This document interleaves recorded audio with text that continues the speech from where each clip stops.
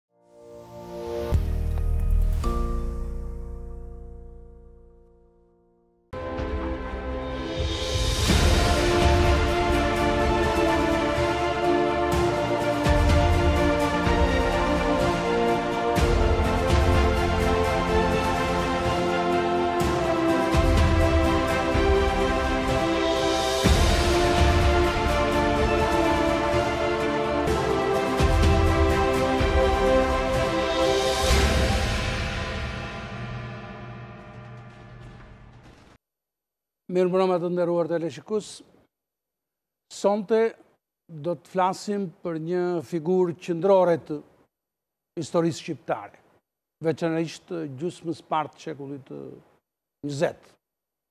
është fjala për Ahmet Zogun, presidentin Ahmet Zogu, mbretin Ahmet Zogu, dhe si një figurë e tillë e rëndësishme e historisë shqiptare, ai ka qenë dhe mbetet një objekt shumë interesant për të diskutuar, për të biseduar, dhe unë sonte kam kënaqësinë që të bisedoj për këtë figurë të shquar të historisë shqiptare, me gazetarin Blendi Fevziu, i cili në të njëjtën kohë është dhe autor i një libri për Ahmet Zogun, i botuar para disa vjetësh dhe që ka patur dhe është një nga librat që ka trajtuar dhe trajton biografinë e Ahmet Zogut më afër realitetit se ç'mund të ketë qenë nga shumë autorë të tjerë të së shkuarës.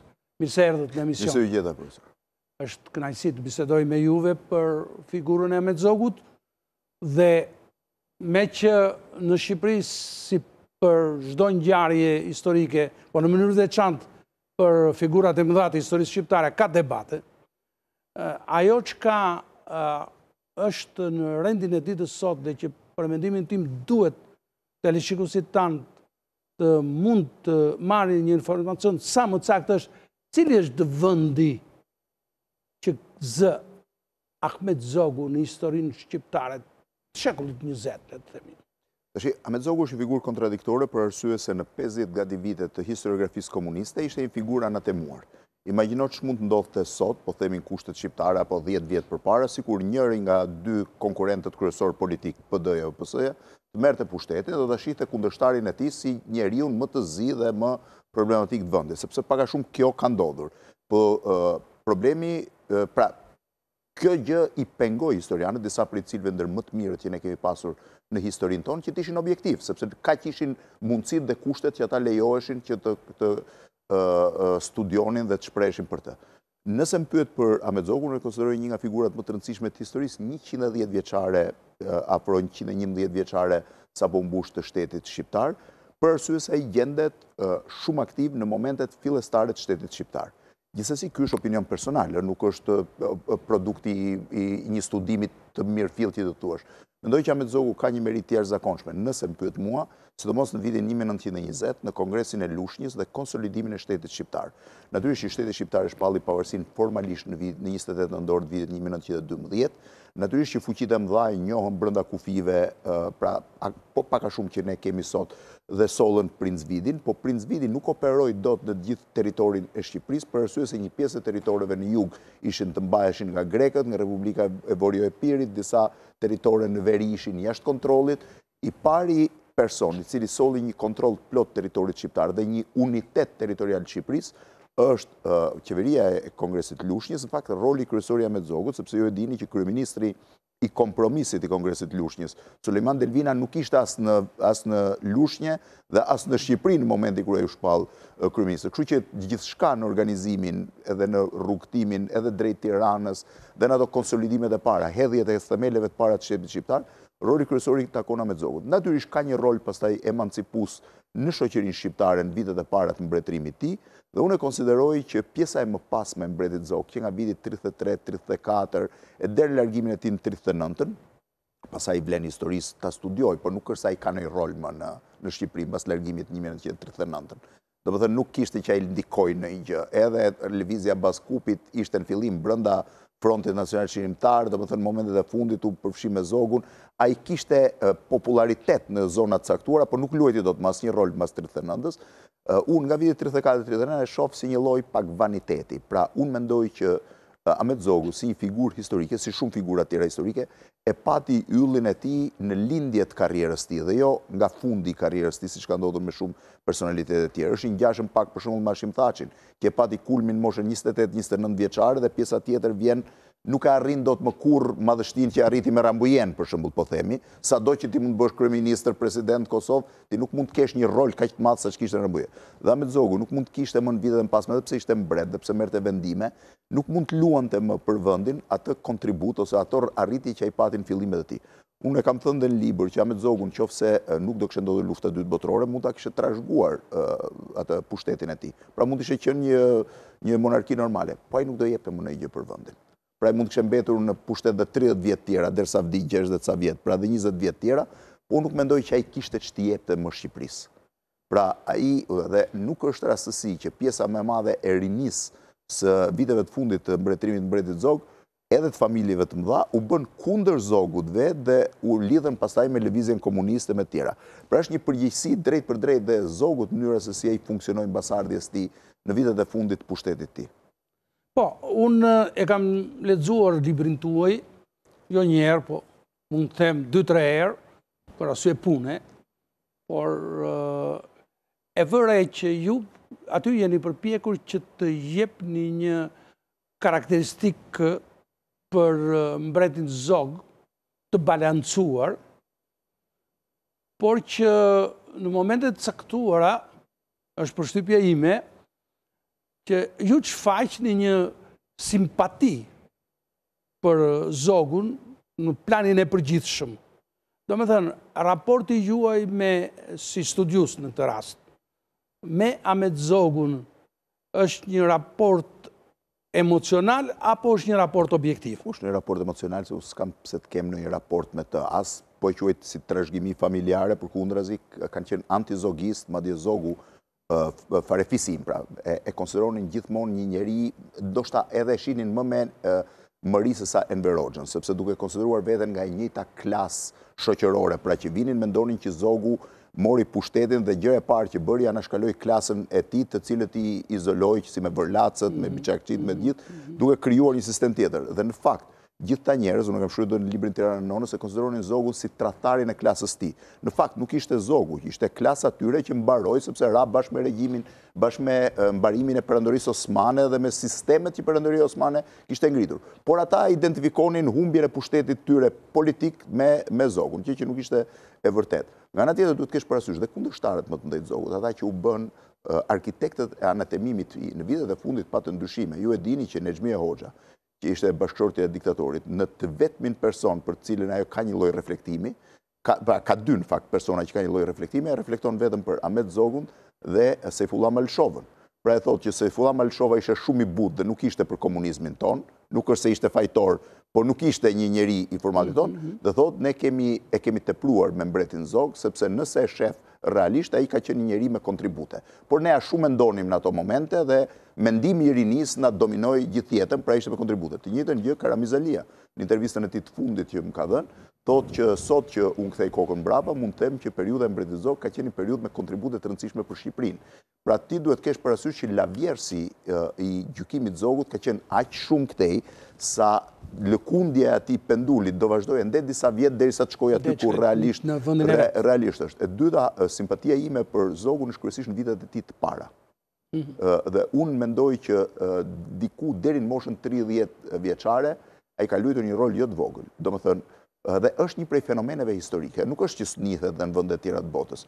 Ai mbërrin në Vlorë, edhe pse me vonesë, mbërrin datën 3 dhjetor, në 1912 me përfaqësi... Këtu jemi, këtu s'jemi dakord bashkë, sepse nuk ka mbërritur në Vlorë në 3 dhjetor, është biseda e vogël kjo që po, po të them. Mund të ketë mbërritur me 4... Ka mbërritur me vonesë, nuk shkoi, u kthye. Jo, ka mbërritur në Vlorë. Jo, jo, jo. Ka shkuar në Vlorë, po jo në dhjetor. Jo, jo, ka mbërritur në dhjetor, sepse në dokumentat që janë publikuar në 62-shin në librin e Akademisë Shkencave, i thotë dokumenta historike për Vlorën, është proces verbali në të cilin është po, po, hequr po. emri Zog dhe thuhet mbërriti Ahmet Myrtari. Po, ashtu e kishte emri në atë kohë? Po, dhe thotë mbërriti Ahmet Myrtari, pra është hequr dhe Zogolli, faktikisht e kishte Zogolli. Zogolli, është thotë mbërriti Ahmet Myrtari, U verifikuan mandatet e Ahmet Myrtarit dhe shtatë personave tjerë, të cilët kanë mbërritur atë ditë, ai ka qëndruar në në Vlorë, sipas të dhënave edhe të Ferit Vokopolës, që është dëshmitari Eqrem bej Vlora, po po dhe Ferit Vokopola në të dhënat e tij, ka në në intervistën, domethënë në në rrëfimet e tij të fundit që janë publikuar mbrapa, se ato kanë qenë të lëna në dorëshkrim, ka qëndruar rreth dy javë dhe është larguar më pas Largimi i tij në fakt me sa kuptoj unë ka ardhur sepse në atë kohë mbërriti në Vlorë një kontigjent i madh i shqiptarëve të zonës së Mitrovicës dhe Drenicës që shoqëronin Isa Boletinin dhe u krijua një një një gjendje që Vlora nuk i përballonte dot njerëzit ose ndoshta ka pasur diçka që lidhej me luftën ballkanike, sepse në atë kohë serbët hyjnë përmes territorit të tij. Nuk kuptohet si është kthyer mbrapsh, nuk ka të dhëna si është kthyer mbrapsh, po të të lexosh kujtimet e tij të lëna në dorëshkrim që më pas janë publikuar, po janë publikuar të reduktuara, unë kam dhe dorëshkrimin e këtij Hysen Selmanit, ai pretendon që është kthyer përmes Lushnjës, që më duket pak e vështirë, po gjithsesi ky është momenti i parë i tij i pranishëm. Pra ai merr një mandat. Pikëpyetja ime e parë është Pse e merr mandatin një shtatëmbëdhjetë vjeçar në Mat? Pse nuk e merr për shembull vëllai i tij, Xhelal Ah, po. Xhelal vëllai nuk e merrte, ju e dini, ishte, ju e keni shpjeguar në librin. Ishte gati 10 vjet. Po ju e keni shpjeguar në librin tuaj që ishte ishte me nënë tjetër, ai dhe nëna Sadia ishte më po, më ndikuese. Ishte më aktive. Por gjithsesi duhet të kesh një karizëm që ti 17 vjeç të drejtosh 100 burra të armatosur, se nuk vjen nga rastësia. Po, e bënte atë sepse ishte i pari i vendit. I vendit, patjetër. Po, po mund të kishte edhe të tjerë 17 vjeçarë që ishin nga familjet e mëdha dhe nuk e mërë. Që nuk e kryrë. Një gjë është dhe, është dhe një gjë që është e vërtetë, se ne sot e shohim si në Vlorë mbërritën kryesisht të rinjtë. Mbërritja deri në Vlorë, nga zona të ndryshme të Shqipërisë, ishte e pamundur në kushtet e atij motit të nëntorit dhe të rrugëve që nuk funksiononin, të baltrave, pra për shembull, Aqif Pashë Elbasani nuk u nis për në, për në, për në, Vlorë, nisi personazhe të tjerë për arsye se nuk mundte fizikisht të mbërrinte, jo se nuk donte të, të shkonte. Kështu që Ahmet Zogu ishte edhe më më i ri. Ahmet Zogu, unë këtu ju kundërshtoj, Ahmet Zogu nuk ka qenë në dy në dy dhjetor, është dokumenti. Në dy mund mos ketë qenë, unë e di ka shkuar tre ose katër. Është dokumenti i Lef Nosit. që i ka i ka mbledhur të gjitha dhe i ka botuar.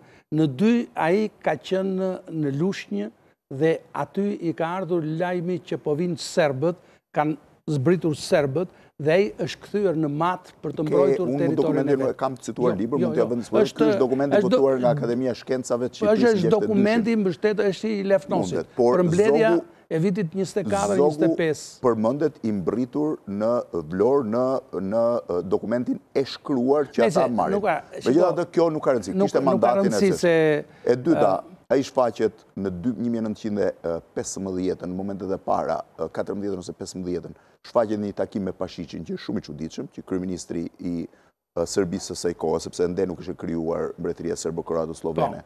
Kryeministri i Serbisë zbret deri në Nish dhe bën një takim me një njeri influent, ndërkohë influent në atë kohë nuk ishte vetëm Zogu, se kishe zo- persona shumë fort influent në zonën e Lumës, kishe pjesën e gjakovarëve që ishin po ashtu Kryezinj që vazhdonin të ishin familje shumë e fortë, ishte ndikimi i jashtëzakonshëm i familjes Draga, e cila ishte familja më influente e Kosovës në atë kohë, Kishte zonën e Elezëve në zonën e Kukësit dhe të Dibrës, pra që shkonin bashkë. Ndërkohë Pashiçi takon, ai mund të ketë takuar dhe persona të tjerë, por ne kemi të konfirmuar takimin me me Zogun, e takon në një moshë thuajse tetëmbëdhjetë, nëntëmbëdhjetë vjeçare. Po, është është është gjithnjë me atë logjikën. Pashiçi që ishte njeri me ndikim në atë zonë. E ka, e ka takuar në 1915 në Nish. Në Nish, po. Sepse, ndërkohë, Beogradi ishte i pushtuar nga austro-hungarezët. Austro-hungarezët dhe ai kishte zbritur në Nish.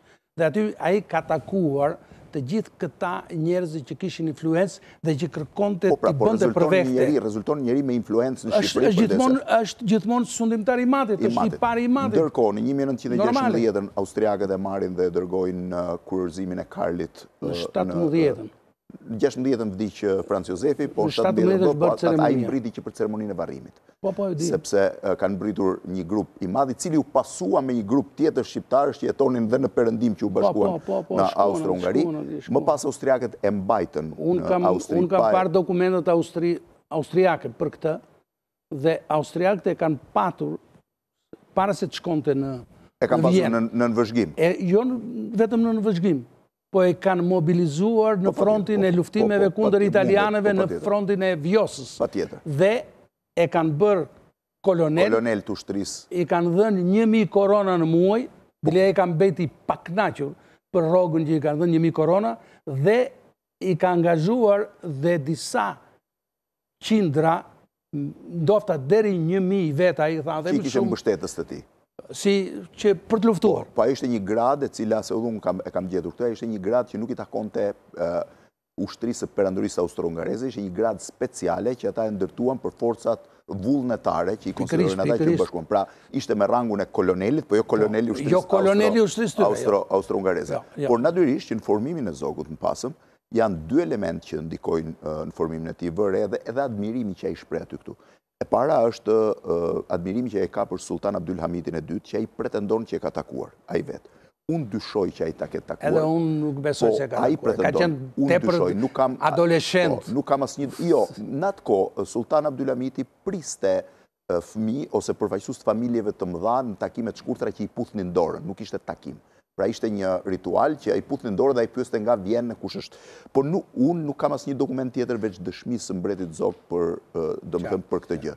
Ndërkohë që ka një dëshmi shumë interesante të njërit prej armiqve më të mëdhenj të Zogut, Mustafa Krujës, i cili e dëshmon praninë e Zogut në Liceun e Gallatës në degën e administrimit publik, që ishte dega më elitare e shkollës së perandorisë austro-hungareze në atë kohë, ku ai ishte një nxënës në konvikt, thotë Mustafa Kruja. Po, po ju thoni në librin tuaj që ai ka ndryshuar, nuk dihet se çfarë shkolle ka mbaruar aty. Askush nuk e thotë sepse ai nuk ka një një një certifikatë të shkollës, kjo duhet parë në arkivat e Liceut Galatasaray dhe unë nuk e di pse nuk është verifikuar. Pastaj ai vetë nuk është i qartë. Edhe ai vetë thotë që ka mbaruar shkollën e administrimit dhe Mustafa Kruja thotë që e kam parë në shkollën e administrimit, problemi është që koha kur ai ka bërë shkollën e administrimit nuk përputhet me kohën kur realisht shkolla bëhej. Pra, ai në moshën gati gjashtëmbëdhjetë vjeçare mbërrin sërish në Shqipëri.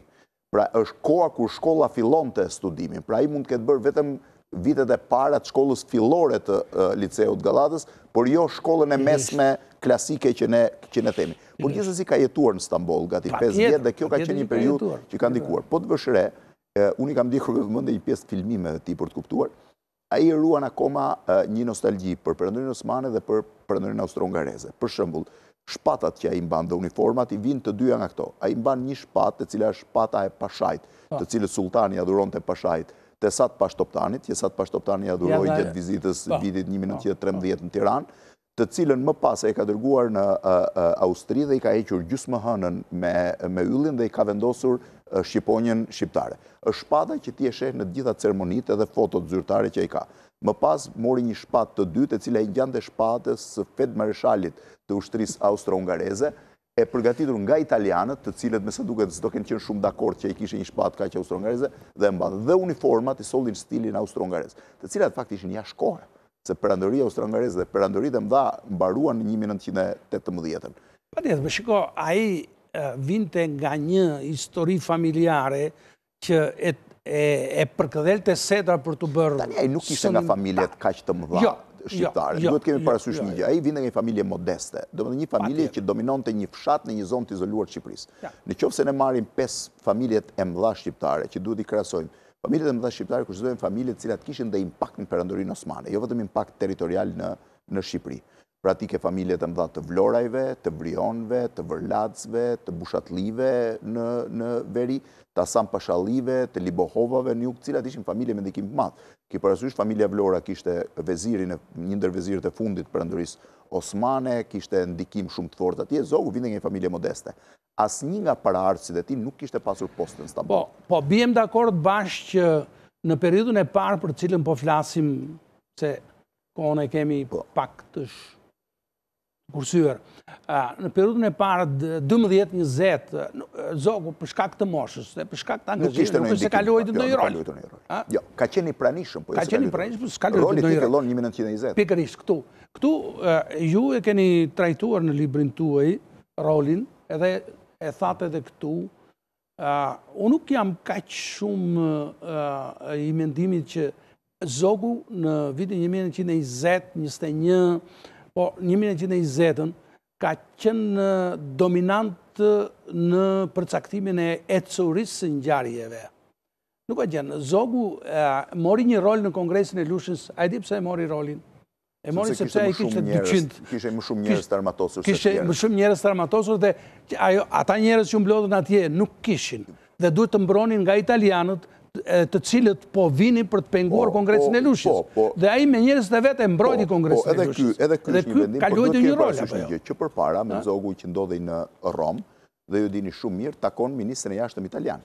Dhe unë ngre një pikëpyetje, ç'donte ministri i Jashtëm italian të takonte Ahmet Zogun dhe dhe Tefik Mborjen, të cilët ishin të dy në Romë, Tefik Mborja jetonte në fakt në Romë dhe e shoqëron Zogun në një takim. Se pikëpyetja e parë është përse një njëzet vjeç Tefik Mborja ishte si, si përfaqësues i Shqipërisë në Romë. Po ç'punë kishte ministri i Jashtëm italian të priste një përfaqësues të një zone të Shqipërisë. Ta them unë. Dhe i bën presion që ai po, të mundohet po, të mbështesë po. qeverinë e Durrësit, ndërkohë që Zogu nuk e pranon dhe ju e dini që domethënë nuk e pranon, nuk e di ç'ka thënë në takim, po më pas veprimet çojnë që ai e konteston. Pra tregon që edhe pse pa mbërritur në Shqipëri, edhe pse ai kishte jetuar në Vjenë dy vjet, nuk kishte qenë aktiv, kishte të dhëna që ky ishte njeri influent në një zonë të caktuar. Dhe nuk mund të ishte ndër më influentët, sepse Abdi Bej Toptani kishte shumë më tepër pushkë se sa Zogu dhe shumë më tepër fuqi në Tiranë, dhe Refik Toptani. Patjetër. Ky Ali Pash, Aqif Pash Elbasani ishte shumë. Shefqet Vërlaci ishte ndjeshëm më superior se këta. Familja Vlora kishte shumë më tepër qehajarë dhe njerëz të armatosur se sa Zogu. Pra nuk ishte Zogu, nuk po them Preng Pashën që po ashtu në zonën e Mirditës kishte më shumë armë. Nuk është që Zogu kishte numrin më të madh të forcave, problemi është që në Kongresin e Lushnjës Zogu u përcaktua më shpejt se sa të tjerët, edhe Aqif Pasha.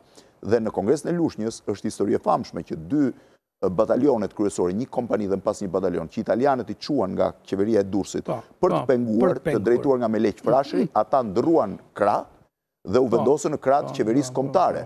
Dhe është i famshëm fjalimi i Meleq Frashërit, i cili thotë që ne erdhëm këtu për të për të ndaluar Kongresin, por ne e kuptojmë që ky është për të mirën e Shqipërisë dhe ne bëjmë vullnetin.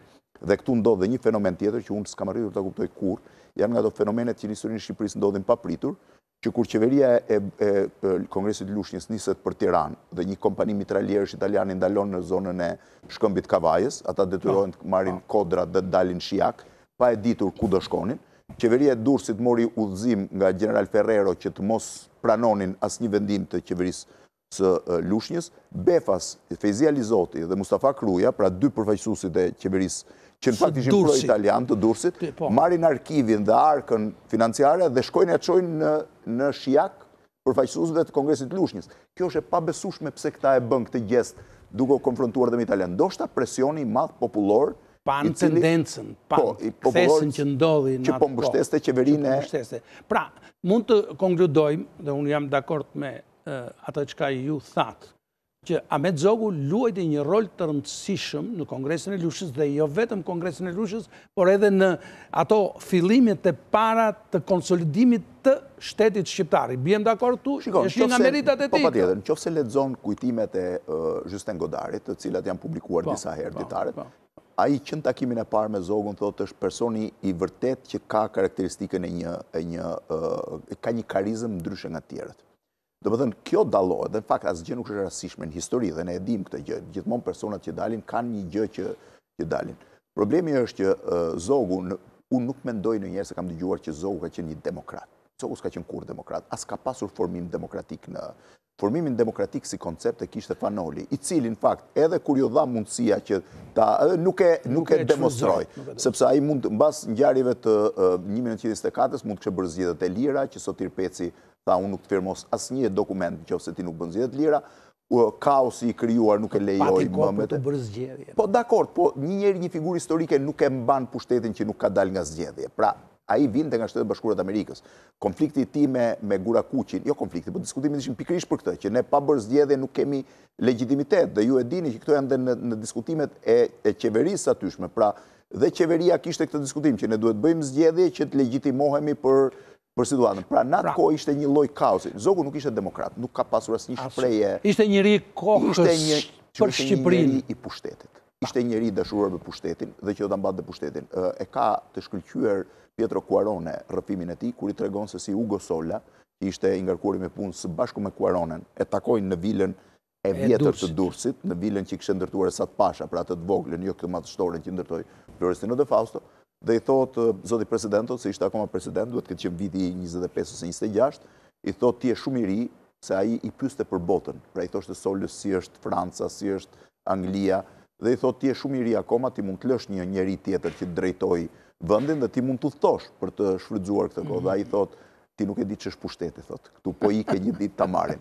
Dhe Zogu ishte një njeri paranojak, edhe pse iu bënë shumë atentate, është shumë e bukur. History Channel ka një dokumentar për atentatet e njerëzve të rëndësishëm, që është, është, është realizuar diku në vitet 80, dhe Zogun e klasifikon në 50 figurat me më shumë atentate të historisë së globit. të gjithë globit flas. Domethënë, atij iu bënë aq shumë atentate të drejtpërdrejta apo të mbetura në tentativë, sa edhe ai kishte e kishte të justifikuar paranojën që kishte. Dakor, po kjo nuk ishte meritë, pse? Kjo nuk ishte meritë, jo, jo. Kjo ishte formë, shiko, kjo ishte një formë e zgjidhjes së hesapeve politike në të gjithë, jo, në të gjithë Ballkanin. Në Rumani janë vrarë në parlament, në Bullgari ka ndodhur vrasje, në Serbi janë vrarë kryeministra, domethënë... Në gjitha vëndet e rajonit, kjo ka ndodhur, ka qenë fenomen. Dizintegrimi i Perandorisë Osmane, në fakt, solli edhe një lumë dhune, që disa vende e kaluan pak më herët se ne. Se ju e dini ç'vrasje ka pasur në Bullgarinë e viteve një mijë e tetëqind e tetëdhjetë e tetë, një mijë e nëntëqind e dy, në Maqedoninë e asaj kohe, pra në zonë. Pikërisht në këtë kohë që është Zogu, një mijë e nëntëqind e njëzet e tre, që vritet kryeministri Stamboliski, në mes të Sofjes, kundërshtarëve të tij politikë. Kështu që ishte një formë e asaj. Më pas pastaj si funksion, e pakuptueshme është zgjedhja mbret e Zogut. Domethënë njeri që vjen, bëhet president, rikthehet prapë mbret, tregon që pushteti ishte një qëllim kryesor në jetën e tij. I tij, patjetër. Pa diskutim. Patjetër. Dhe në emër të pushtetit, në emër të pushtetit, ai sigurisht që ka bërë dhe ka bërë dhe krime, ka vrarë dhe njerëz, apo jo? Pa diskutim. Po s'ka diskutim, po ka ka varur, ka vrarë, megjithatë nuk ka qenë aq i dhunshëm sa ishte pushteti komunist më mbrapa.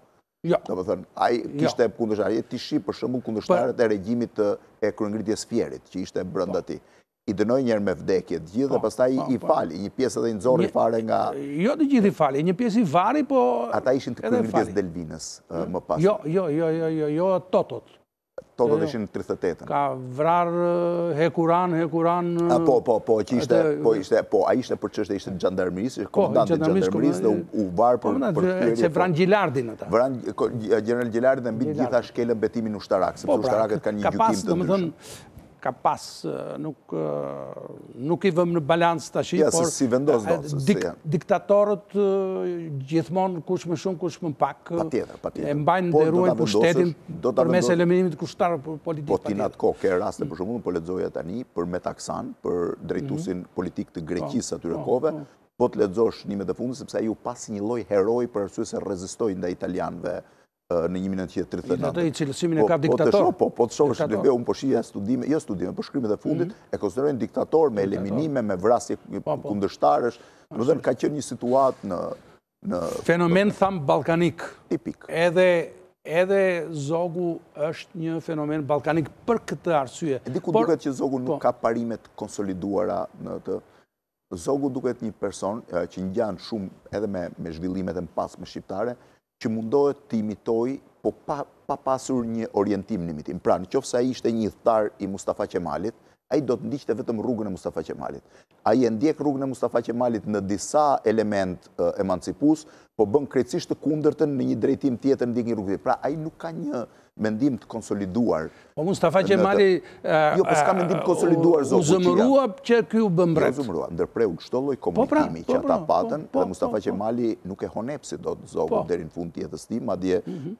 pasardhësi i Mustafa Qemalit, Ismet Inonuja, që kishte qenë një gjeneral, i cili e njifte Shqipërinë, sepse e para kishte prejardhje shqiptare të largët, e dyta kishte luftuar në Ballkan gjatë luftës ballkanike dhe e njifte mirë shqiptarët, ia thotë që Mustafa Qemali iku pra në atë takimin informal që ata kanë pasur në Stamboll, thotë iku nga kjo botë me bindjen që pjesë Shqipëria ishte një zhgënjim i madh për për të, se u mendua mm. që Zogu ishte një figurë emancipuese që po ecte po, po. përpara. Ndërkohë Mustafa Qemali nuk i fali atij dhe afrinë me Italinë. nuk duhet harruar. Domethënë Mustafa Qemali e konsideroi një gabim afrinë që Zogu ndërtoi me Italinë. Tani, Mustafa Qemali ishte larg për të vendosur se nga do shkonte Zogu. Jo, jo, edhe, Zogu... edhe s'kishte interes Turqia. Pa, Unë pashë dokumentat e fundit, duhet të kesh parasysh një gjë, se s'dua të, të dal nga tema. Po, menjëherë mas shpalljes së pavarësisë, kur fuqitë e mëdha fillojnë negociatat me Turqinë për t'i dhënë statusin Shqipërisë, sepse ende në fillim mendohej që duhet të ishte një autonomi brenda Perandorisë, është Perandoria vetë që në mbledhjen e kabinetit të Ferit Damat Pashës thotë që ne nuk kemi më, e para borxhi shumë i lartë, e dyta nuk kemi më kosto që të mirëmbajmë një territor si Shqipëria kur i kishte ikur Selaniku, se konsiderohej lidhja kryesore. Pra ata i thonë fuqive të mëdha, ne nuk kemi më interes për për Shqipërinë. T'ju bëj një pyetje meqë jemi këtu. Çfarë mendoni juve? Zogu kishte ndonjë rrugë tjetër në vitin një mijë e nëntëqind e njëzet e pesë pasi u kthye nga Jugosllavia? Mënyra se si u kthye, si u kthye është diskutuar për për t'u orientuar Mund të shkonte gjikundi tjetër përveç se të përfundonte në prehrin e Musolinit. Ai s'kishte, unë nuk mendoj se kishte më ndonjë mundësi tjetër. Në atë kohë ju i keni lexuar më mirë se unë dokumentat e Lidhjes së Kombeve, e cila dërgon disa ekonomistë të shquar për të verifikuar nëse Shqipëria kishte mundësi të vetëfinancimit po, ekonomik. Në fillim të viteve 20 ka qenë. Ka qenë dhe ata thonë që është e pamundur. Ky vend nuk mund, nuk është sufiçient nga ana ekonomike. Madje edhe Konti Bertold, i cili i dërgon një letër Kajzerit të Gjermanisë kur do të shpallej pavarësia e Shqipërisë, i thotë të lejojmë krijimin e një Shqipërie në kufij të ekzistencës saj ekonomike. Pra përcaktimi nuk është në kufij të ekzistencës, ku e di unë, etnike apo kufijve historikë, por në kufijtë e ekzistencës së saj ekonomike. Ai nuk kishte një zgjidhje tjetër. Ia lanë vetë Italisë fuqitë perëndimore. Perëndimore. Ia lanë me vendimin e Konferencës së Ambasadorëve të Nëntorit një mijë e nëntëqind e njëzet e një. Jo vetëm atëherë, por se ju e dini. Se i njohën prioritet strategjik Italisë në Shqipëri. Ju e dini shumë mirë që edhe në vitin një mijë e nëntëqind e nëntëdhjetë kur është diskutuar Shqipëria, Italisë i është lënë kujdesi kryesor për Shqipërinë. Domethënë, pavarësisht se politikat e mëdha i supervizojnë Shtetet e Bashkuara të Amerikës, çdo gjë, situata ekonomike, shpërndarja e ndihmave, kontrolli, çdo gjë i është dhënë Italisë. Dhe ju e dini shumë mirë që italianët, ju keni jetuar ato situata. Italianët vazhdimisht e përmendin këtë fakt që kanë qenë takimet e para ndërkombëtare, në nivel ndërkombëtar, natyrisht për Shqipërinë s'u bënë konferenca të posaçme si për pjesën tjetër të lindjes, po gjithmonë Shqipëria u pa si një kujdes italian. Pra nuk u pa si kujdes i Greqisë, as si kujdes i ish Jugosllavisë, po, po, po themin atë kohë, është parë gjithmonë si një vëmendje e Italisë. Italia kishte një rol dhe në pavarësinë e Shqipërisë, pavarësisht se 1920-ën tentoi të merrte territore të caktuara, në atë kohë Zogu kishte zgjidhje o Jugosllavinë, e cila ishte edhe shumë më e dobët se Italia dhe ndërkombëtarisht nuk ndikonte. Greqia ishte indiferente dhe raportet ishin të ngrira për arsye të historisë Çamërisë dhe të tjera. Te Jugosllavia ishte Kosova në mes që gjithmonë ishte një problem në raportet midis dy vendeve s'do kishte zgjidhje, Turqia ishte shumë larg dhe s'kishte asnjë interes më për Shqipërinë. Domethënë është Britania e Madhe dhe Franca ato që e inkurajuan Italinë. Italinë vesh. Rauf Fico ka bërë një udhëtim drejt, ai ishte shok klase me Mustafa Qemalin, ka bërë një udhëtim në Turqi në vitet e para të të Republikës, kur Mustafa Qemali sapo kishte mbyllur marrëveshjen e Lozanës, takimi nuk ka të dhëna, kujtimet e vetë Ficos që janë publikuar më pas, ai thotë që Mustafa Qemali nuk kishte ndonjë interes drejtpërdrejt për Shqipërinë, pavarësisht me prejardhjen e tij shqiptare, nëna e tij ishte nga Dibra, me sa duket edhe os, domethënë pjesa e Turqisë moderne donte të mos kishte peshë të Perandorisë Osmane mbi supet e veta, domethënë asgjë që lidhej me Perandorinë Osmane. Kështu që ai ngeli tek Italia. Pastaj, mënyra se si ai tentoi ta luante me Italinë, një herë shumë i afërt, një herë shumë i largët, ndikimi që patën italianët, se ka diskutime shumë. Italianët e morën shtetin shqiptar në vitet e fundit të sundimit të mbretit Zog. Ushtria ishte komplet e kontrolluar nga italianët, e vetmja armë që i mbeti atij ose strukturë ishte xhandarmëria, që ruajti një lloj, e cila ishte stërvitur nga britanikët, nga John Percy dhe koloneli Sterling, që ishte diçka ndryshe. U mundua të ruante një raport, pra ushtrinë e çoi me asistencë italiane, xhandarmërinë me asistencë britanike, po nga fundi dhe britanikët u tërhoqën, dhe ju e mbani mend vetë, dhe u tërhoqën jo me udhëzimin e Zogut, po me udhëzimin e shtetit britanik që nuk lejoi shtetasit e tij që të të merrnin më, ndikimi i famshëm. Fatkeqësia e Zogut pastaj ishte që Italia ndërhyri në Shqipëri para se të shpallej Lufta e Dytë Botërore. Ishte ishte e natyrshme Që zogu të bëhej mbret. Jo, s'ishte natyrshme. Jo, absolutisht. Unë mendoj që kjo është një nga pikat e errëta nëse do t'i bësh një studim historik. A justifikohet, mund ta justifikosh, se rreth e rrotull mbretëri ishin, por nuk është, nuk është pikë që thua është pozitive, është një nga pikat ku ai mund të kritikohet më shumë. Sepse praktikisht, me shpalljen mbret, ai vdiq çdo ideal demokratik të një Shqipërie që mund të kishte një president. Pra pavarësisht se presidenti pa diskutim ishte Zogu. Ja po themi do zgjidhej dhe dy mandate të tjera. Ja, po themi, po rrinte edhe president i përjetshëm, po nuk do kishte trashëgimi pushteti. Zogu filloi të mendonte për një trashëgimi pushteti dhe për të krijuar një dinasti. E dyta, dinastia në vetvete ishte qesharake. Domethënë, gjithë tentativa e mbretit Zog për të gjetur një grua që vinte nga një prej familjeve mbretërore europiane dështoi. Dhe ju e dini, emisarët e tij u vërtitën nga Italia, deri në, dhe italianët i thanë me shumë delikatesë që ne mund të të gjejmë një konteshë periferike. Periferike, po. Edhe po, fjala, po, periferike, pra, po, për të mos ta fyer, ata i thonë që Jak Koçit i cili u ngarkua që të gjente gruan e tij, ne mund të japim një konteshë periferike.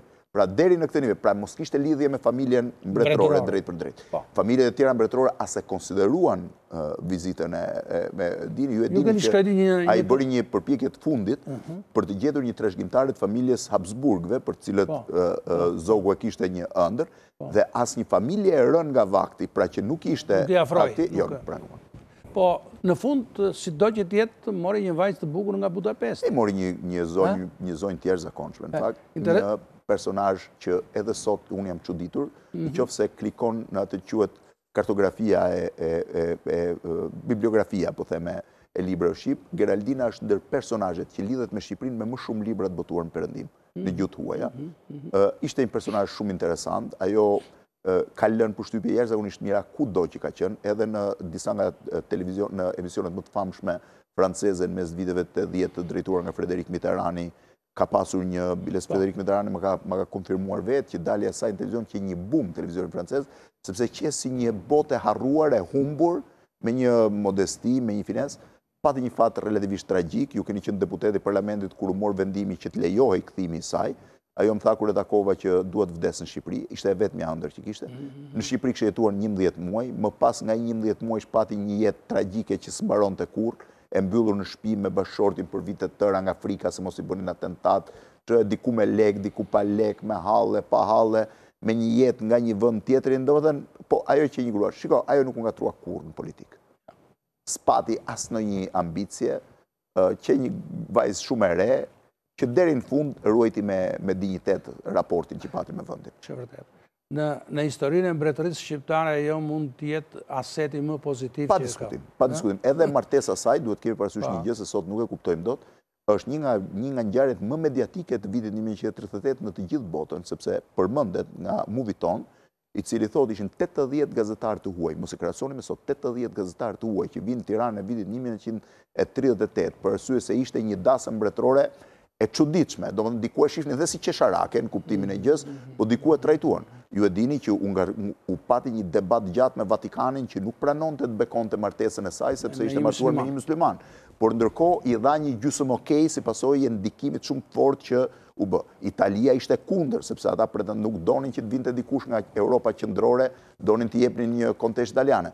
Ndërkohë amerikanët u bënë tejet entuziastë për martesën, sepse Geraldina kishte një lidhje... Lidhje nga nëna e saj. Nga nëna e saj, domethënë. Por duhet thënë një gjë, megjithëse Zogu tentoi të krijonte raporte me Britaninë, as Britania, as Franca, as Shtetet e Bashkuara të Amerikës nuk treguan asnjë interes për mbretin Zog.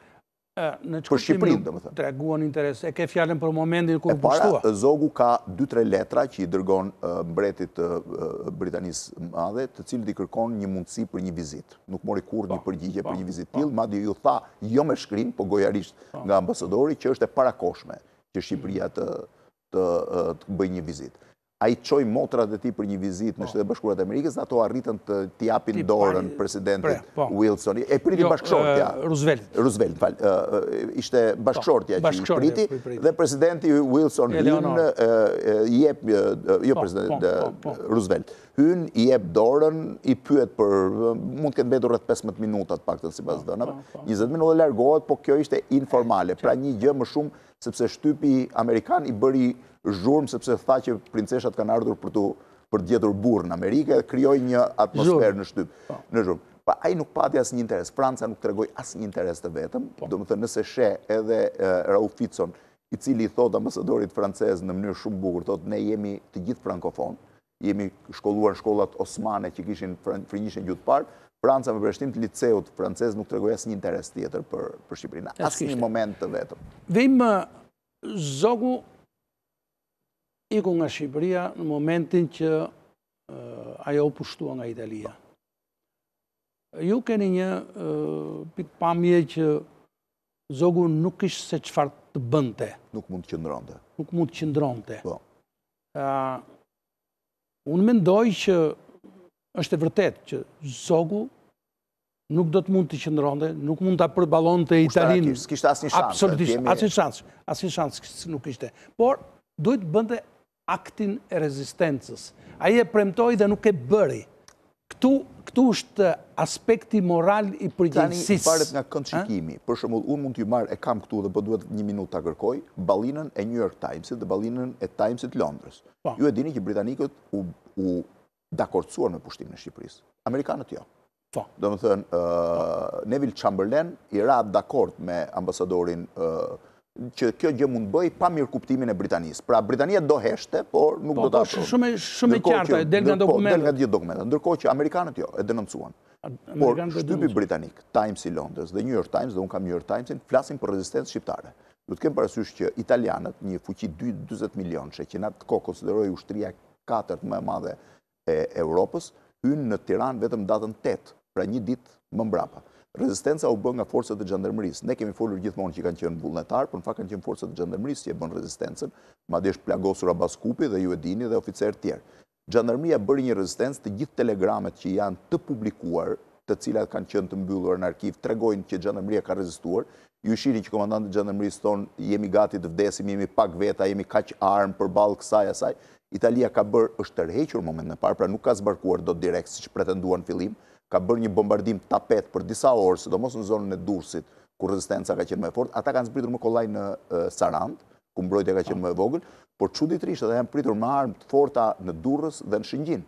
Natyrisht kanë hyrë më kollaj dhe në Vlorë, në Vlorë për arsye se ata kishin një organizim dhe një bazë historike me familjet e mëdha të Vlorës ishin prej kohësh filoitaliane zbritën, por në Durrës dhe në Shëngjin, sidomos Shëngjin, është bërë një rezistencë. Ata kanë mbritur një ditë më pas në Tiranë, pra në datën tetë, në datën tetë pastaj ata përdorën Po, mund të mbrinin që atë natë në Tiranë, po ura e Shijakut u Hodhën urën e Shijakut, po, po, ama njëmbëdhjetë orë të paktën ata ka bërë rezistencë, sepse e thotë edhe në nga Mussolini jo, jo, jo, të Jam dakord. Dhe unë dy gjëra kam në këtë, jo, jo, ka patur në Durrës ka patur rezistencë. Kështu që një lloj rezistencë u bë. Tani Zogu kishte Zogu kishte dy zë, se ne duhet ta shohim një gjë që nuk është thënë.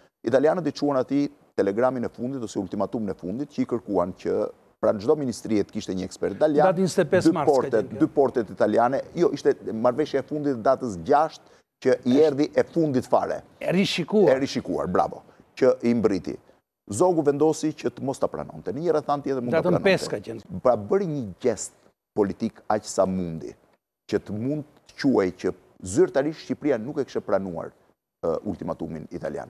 Sepse ai mund të mos bënte mbledhjet parlamenteve, pra bëri një gjest formal për ta lënë histori, ai s'e ka bërë për historinë, po për t'i thënë Perëndimit që unë nuk e pranoj gjestin e ultimatumit italian. Se një tjetër mund ta bënte, pra e bëri. Të njëjtën gjë bëri Metaksai në Greqi, kur i erdhi ultimatumi e refuzoi, ju e dini që ai i shkoi në shpi e gjeti me robdëshambër. Por ama ky e bëri një gjest refuzimi që nuk ishte një gjest i parëndësishëm. Pastaj, a mund të rezistonte Zogu? Unë mendoj që çështja e Zogut shkon përtej kësaj, jo në momentin e parë. Zogu ka gabuar thellë, po ndoshta mund të jenë dhe rrethanat, që nuk u rikthye në Shqipëri në momentet që filloi të lindte rezistenca e parë shqiptare. Pra në momentin kur trupat e Abaz Kupit, Abaz Kupi, Mustafa Gjinishi, ë, ë. Ku të kthehej? Të kthehej në Shqipëri, në momentin që. Po si të kthehej, ku do vente, kush e lejonte? Nga Greqia, nga Greqia. Nuk e lejonte... Ata s'e lejuan, jo, po në jo, qoftë se ai do t'i bënte, ai qoftë se... U fol atëherë, fol në 41-shin... Po, ai bile, Geraldina thotë që ai i bëri dhe plaçkat po, gati, që të hipte në avion, do ikte në po, avion, do shkonte... Nuk e pranuan. Nuk e pranuan, po... Po në momentet e dyta mund gjende një gjë. Nuk, ajo ka qenë e pamundur. Po, ajo që ka mund të bënte ai, shiko, ai në drekë, se po qëndrojmë gjatë këtu, te kjo po sa ta shohim. Ai në shtatë prill në drekë ka bërë një deklaratë zyrtare, po. që është lexuar në Radio Tirana, po. që thotë që do të rezistojmë deri në pikën e fundit të gjakut, po. dhe bën thirrje. Po. Në drekë, po, po. në orën 5 mbasdite ai hypi makinave dhe iku. Po patjetër, po ndërkohë. Po jo, pse patjetër, ai ka thënë Do rrimë të rezistojmë deri në pikën e fundit të gjakut. Po mund të rrinte 3 ditë, 3 ditë, 3 ditë. Po ku do rrinte 3 ditë? Në një mal. Po s'kish asnjë shans. Po si s'ka? Po sepse brenda ditës italianët morën... Ça do i bënin? Nëpër male? Brenda ditës italianët morën Kukësin jo. dhe Korçën. Po nëpër male nuk i bënin gjë. Me avion.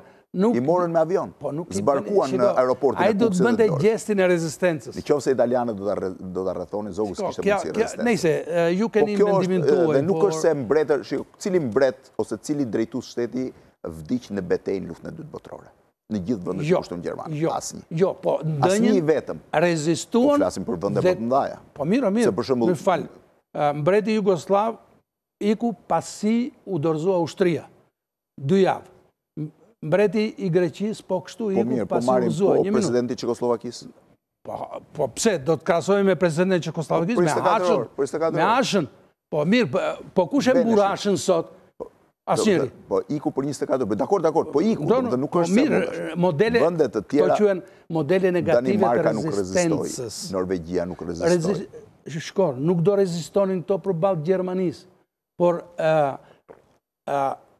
Mbreti norvegjez ka rezistuar deri në fund të muajit prill.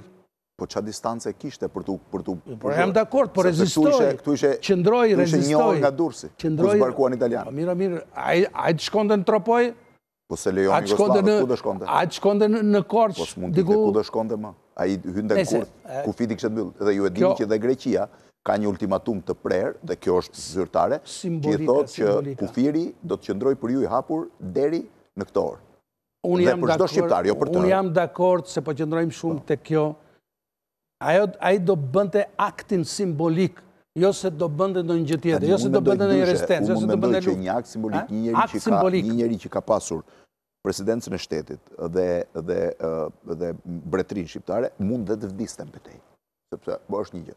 Po nuk është se e bënë të tjerë dhe nuk është se lufta botërore pati shembuj të tillë të një heroizmi. Nëse kjo kjo mbetet kjo mbetet një çështje që ti ke sot studime që tregojnë që Stalini e humbi dy javët e po, para të luftës u mbyll, po ke stu, jo po studime, po ke dëshmi të po, po, plota, që e humbi dhe nuk kishte, derisa u mbyll në daça dhe nuk kishte, nuk kishte shpresë që do t'i rezistonte sulmit gjerman, derisa ata mbërritën 24 km larg Moskës. Ajo është e vërtetë, ka raste të kësaj natyre. Po, dhe ai pastaj e mblodhi veten në një moment, dhe po flasim për një vend që nuk pushtohet dot të duash, se nuk i shkon dot deri në fund. Domethënë, historia e Luftës së Dytë Botërore është shumë e komplikuar, në fakt, kur e shef. Po unë mendoj gjithmonë këtë, që Zogu e kreu misionin e tij historik dhe politik, pavarësisht se kur do të ikte. Mund të kishte ikë dhe mas tridhjetë vjetësh.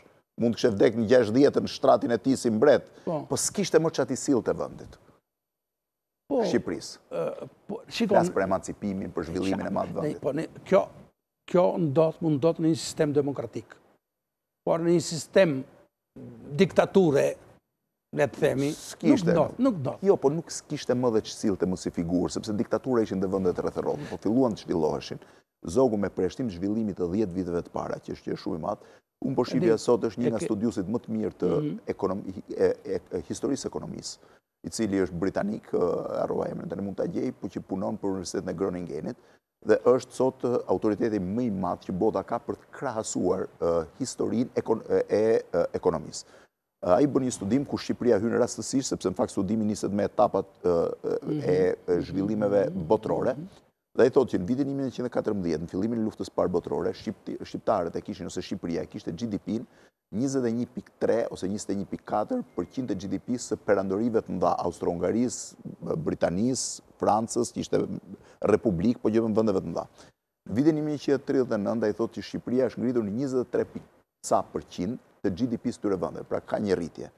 Në vitin kur është fillon lufta e parë botërore, e dytë botërore, në tridhjetë e nëntën. Në një mijë e nëntëqind e tetëdhjetë e nëntën, që ai analizon momentin e rënies së Murit të Berlinit, Shqipëria ka rënë në nëntë pikë shtatë të GDP-së së vendeve të zhvilluara të Tregut të Përbashkët Evropian të asaj kohe. Pra rënia e Shqipërisë është drastike në raport me të. Pra Zogu solli një rritje ekonomike të Shqipërisë me një lloj tregu të lirë, aq sa ishte tregu lirë, iniciativa private, nga viti një mijë e nëntëqind e njëzet, po themi deri në vitin një mijë e nëntëqind e tridhjetë e nëntë. Dakor, ta solli, po kjo, kjo rritje ekonomike, solli dhe regjimi komunist për një periudhë kohe. Po, po, pastaj shkoi në, shkoi në nëntë pikë ca për qind të vendeve tjera, pra është gjysma e asaj që la Zogu. Shkoi, po ma, ama po të masësh, po të masësh numurin,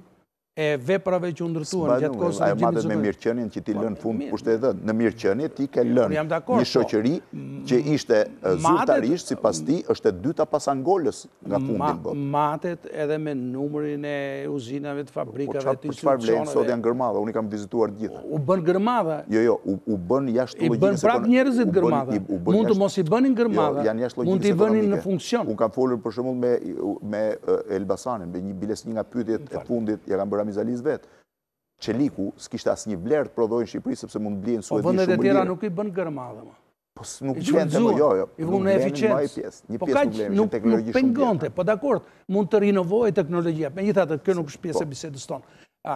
Kishe dëshirë, ose më shfaqe dëshirë në fillim për të folur pak për veprimtarinë e Zogut pas Luftës së Dytë Botërore? Shumë interesante, kjo është kuriozitet më shumë, po, sesa ai shkoi në fillim Stamboll, Stamboll për arsye se ishte një nga dy gjuhët e huaja që ai fliste, pra kishte studiuar dhe e dinte turqishten si gjuhë të huaj, dinte edhe gjermanishten, por për gjermanishten ishte gjuhë komunikimi, po jo gjuhë që ai e njihte gjuhë pune. Turqishtja ishte gjuha e vetme e vërtetë që ai kishte mësuar dhe ta shkruante dhe ta dhe të lexonte. Ai u ndje shumë mirë, siç thotë Geraldina, por ai mendonte gjithmonë për një të ardhme politike dhe fiksimi i Zogut ishte që Britania e vendos të ardhmen politike të. Europës pas luftës, ai kishte një bindje që fuqitë, pra perëndimore do fitonin, nuk do fitonte Gjermania me Italinë, e thotë dhe në intervistat që i ka dhënë shtypit britanik kur ka mbërritur, udhëtoi për në Francë, në Francë ka disa histori që janë brenda kuriozitetit, në fillim shkoi në Chateau, Versajë, që ia mori familjes Windsor, pra ia mori mbretit të dorëhequr të Britanisë së Madhe me qira, Dhe kjo bëri zhurmë shumë shtypin francez se një mbret nga një vend modest që merr me qira shtëpinë e mbretit të dorëhequr të Britanisë, në Chateau de la Maye në Versaj. Prej aty ai u transferua me anijen e fundit në Britani të Madhe. Këtu ka një histori shumë bukur sepse ai udhëtonte me arin që kishte me vete që askush nuk e di sa ka qenë, dhe që në fakt duhet ndarë, nuk është ari i marrë nga Banka e Shqipërisë, është ar korruptiv, i krijuar nga Zogu gjatë viteve të qeverisjes së tij. Jo, edhe ar është, po, po, marrë nga Banka. Po, ari që u mor nga Banka është i dokumentuar, po, dhe një pjesë e madhe e tij është përdorur më pas për të mbajtur profesi dhe njësë. Po, jam dakord me juve që ai ishte ar korruptiv. Sepse ai që ka marrë nga Banka, po, sot me vlerën e sotme është diku 2 milion euro, nuk ishte, nuk i dilte për asgjë. Ai duhet të ketë pas shumë, shumë të mëdha, që asnjë nga ne nuk i përcakton dot dhe që është pjesë korruptive. Domethënë ne nuk e dimë nga ka dalë. Po. Si gjë. A ishte Zogu i korruptuar? Pa dyshim, pa diskutim, gjithë sistemi ishte i korruptuar. I gjithë sistemi po, politik sepse ishte dukshëm i korruptuar nga ato çka merrte. Ishte dukshëm i korruptuar sepse ishte sistemi se unë nuk di të them që ka shkuar te Zogu vetë, nuk ka një dëshmi që shkoi një gjë. Po gjithë njerëzit rreth e rrotull Zogut dhe pse them unë që rinia u bë kundër tij. sepse ai mori personazhet më problematikë të së shkuarës për t'i vendosur në poste kyçe. Mhm. Domethënë, Abdurrahman Mati ishte një figurë Lalë Krosi i famshëm që ishte... Po, jo, po, po, po, Lalë Krosi ishte Abdurrahman Mati. Abdurrahman Mati, se është dhe Abdurrahman Dibra, që po. ishte figurë më pozitive. Po, po pastaj kishe Musa Jukën, i cili ishte një person problematik në vetvete, po, mënyrën si qeveriste, njerëzit që i vuri. Ai tentoi njëherë të vinte një qeveri të rinjve, që e solli me Mehdi Frashërin, me... Et'hem Toton, megjithëse i shkarkoi për 6 muaj, sepse nuk i funksiononin. Mënyra e tij e mendësisë ishte për shembull, është një histori e famshme, që mund ta konfirmojë dhe ish-presidenti Moisiu, është e bukur, kur erdhi Kol Thaçi si ministër i Financave, që kishte studuar në Austri, i thotë Zogut që Zogu paguante bajraktarët e veriut me armë. Po për armë. për pushkë. Dhe i thotë që mua nuk më rezulton, thotë që kjo është një pagesë e madhe dhe ne nuk i kemi këto bajraktarë, që këta nuk i kanë këto pushkë. Atëherë caktohet Spiro Moisiu dhe një tjetër që të verifikojnë armët. Shkojnë për t'i verifikuar së bashku me Kol Thaçin dhe në kazermën ku i nxirrnin, ata ishin dilnin këtu pas e kalonin një mur, dilnin në kazermën tjetër, ata e kuptuan dhe i thanë Zogut nuk ka. Nuk kanë armë fare bajraktarët. Atëherë Zogu i tha Kol Thaçit në rregull, tha i heqim këto pagesa për bajraktarët, po bëj një llogari. Sa lek na duhet të mbajmë një ushtri që t'i mbajmë këta nën zap se këta gjithmonë do ngrihen do bëjnë kryengritje sa lek dhe dilte kosto më shtrenjtë pra ai e kishte zgjidhjen përmes ryshfetit paguaj korruptoje mbaje nën kontroll pra nuk e kishte në funksionimin e institucioneve po themi ju përmendët vajtjen e tij në Egjipt dhe ai ka qëndruar deri në vitin 1955 atje Pesëdhjetë e gjashtën. Pesëdhjetë e gjashtën ka ikur. Po, ka ikur. Donte të ikte më shpejt, po, po s'e, po, lanë egjiptianët pa paguar taksat e Nuk ishte vetëm çështje taksash, ai pati një sëmundje ato ditë që nuk lëvizte dot dhe egjiptian sepse ai donte të ikte për arsye se Egjipti vendosi marrëdhënie diplomatike me Shqipërinë komuniste dhe i anuloi jo, jo, jo, ambasadën. Jo, nuk ishte kjo. Unë kam dokumentat shumë të qarta për këtë.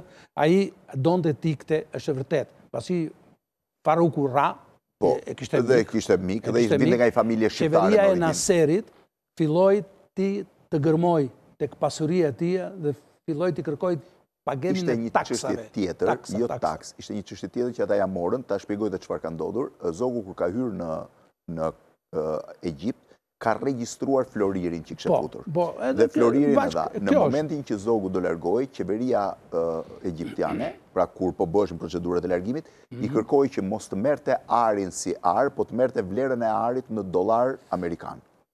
Zogu nuk po pranonte në fillim. Dhe kjo zgjati gjatë. Në fund fare u detyrua ta pranonte këtë dhe këtu është një nga historitë më të bukura.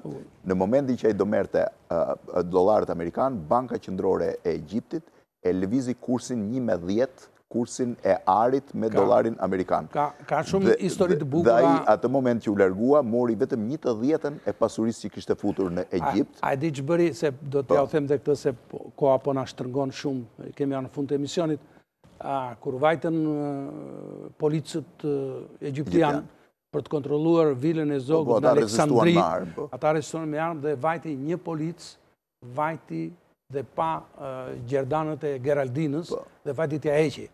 Zogu, kur pa që i prekën gruan, ka reaguar në mënyrë të jashtëzakonshme, ka nxjerrë rovolen dhe ka dashur të është bërë. E thonë dokumentat, është shumë interesante, por këtu vijmë, këtu vijmë për fat të keq duhet ta mbyllim bisedën. Po vetëm them vetëm një detaj jo, që tregon që e kam lexuar së fundmi kujtimet e mbretëreshës Giovanna, mbretëreshës së Bullgarisë, që po. ishte vajza Viktor po. Emanuelit. Po. Ju e dini që gjithë familjet mbretërore të të hequra nga froni ishin të gjitha në Aleksandri në atë kohë dhe mbreti Faruk bëri një darkë për të pajtuar Viktor Emanuelin me. Ajo thotë një gjë interesante, fakt që më ka bërë përshtypje, thotë që pavarësisht raporti që Viktor Emanueli kishte me Zogun marrja e fronit, ai sa herë vinte tek ne thotë për të pirë një kafe linte njëqind dollarë. Ai e dinte thotë që familja jonë ishte në vështirësi ekonomike, sepse Italia i nisi pa asgjë dhe që të mos fyente thotë familjen thoshte që në traditën tonë kur vjen kafja lihet gjithmonë një kartëmonedhë. Ndërkohë që kur Zogu shkoi në Francë ngeli ai në vështirësi ekonomike sepse humbi pasurinë. Do donim të flisnim më shumë akoma, po ju më mirë se kushdo e dini që ka një kufi, ju falemderit shumë. Unë ju falënderoj shumë që na dhatë kënaqësinë të bisedojmë sonte. Falemderit. Që që edhe një herë. Kënaqësi, falemderit.